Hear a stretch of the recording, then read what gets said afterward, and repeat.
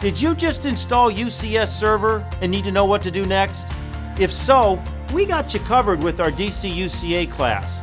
We've taken the best of the best of Cisco's UCS design, implementation, and troubleshooting classes and combined them into one class just for you. In four days, we'll go over day to day administration and troubleshooting with real world scenarios using Cisco's UCS Manager.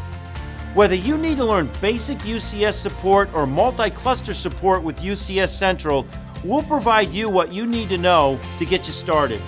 For more information, call your NterOne sales rep or send an email to sales at NterOne.com and tell them Bob the training guy sent you.